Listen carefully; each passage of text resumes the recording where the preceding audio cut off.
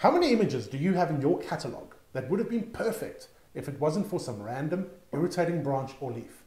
Just enough to draw your eye away from the important parts of the image. So in the past, we had cloning and healing tools that took an absolute age to remove from a photo. Well, Adobe has a new AI removal tool that does wonders, and it does these wonders in no time whatsoever.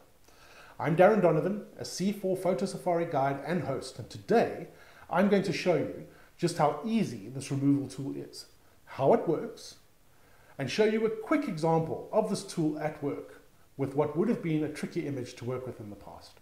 I'll also explain a little bit about the technology at work.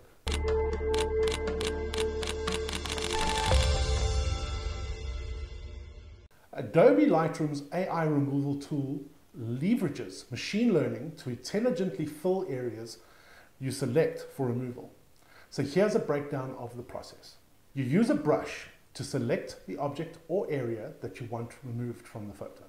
The AI then analyzes the surrounding pixels of the selected area.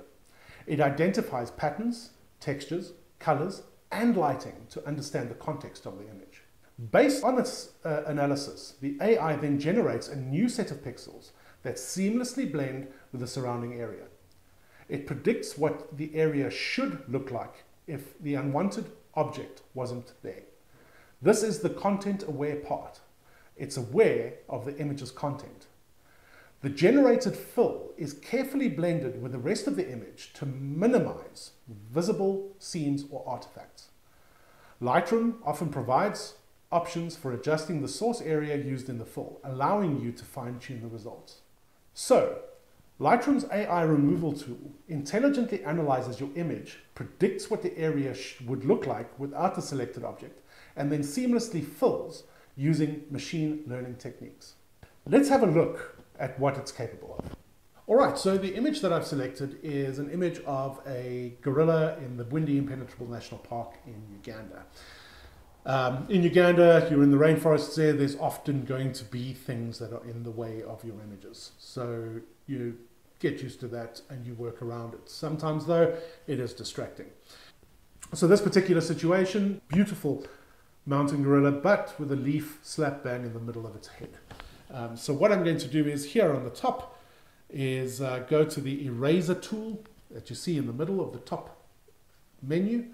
To click on that, gives me my three options here, which is cloning, healing, and then that beautiful new eraser tool. So make sure that your internet is connected for this. Uh, it won't work without internet. And the second thing is, is to make sure that you tick the use generative AI box. Click on that. Right, now get your brush out and make sure that you just give sort of an extra little 5% on the outside uh, to give the, the AI space to work.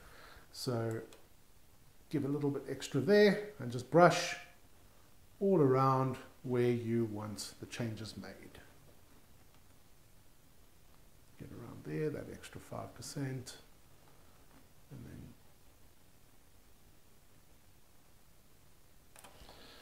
Right, once you've done that, uh, there will be a selected box. You've got your mask add. Now just press remove. So when you press remove, it's now going to analyze the image. And once it's analyzed, it will give you the three variations. And then once we've got those three variations, we choose, and then we create the mask. Like I said years ago, this would have taken forever to do. Uh, because and it wouldn't have looked great because you would have had smudging and all sorts of things looking wrong uh, with the image.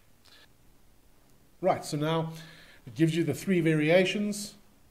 One, two, and three. Right.